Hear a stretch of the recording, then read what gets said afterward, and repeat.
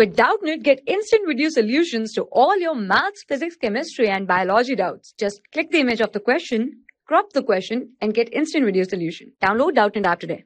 Hello students, today our question is in Carius method 0.099 gram of organic compound gave 0.287 gram of AgCl.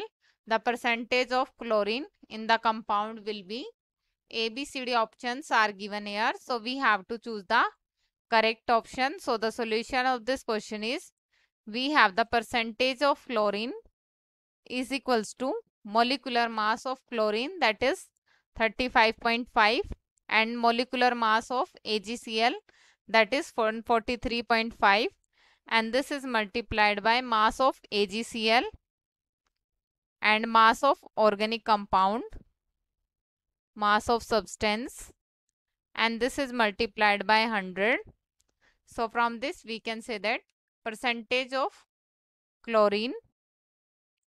So this will equals to 35.5 and this is divided by 143.5 mass of AgCl is 0.287 mass of substance is organic compound is 0.099 and this is multiplied by 100 so from this we can say that percentage of chlorine is equals to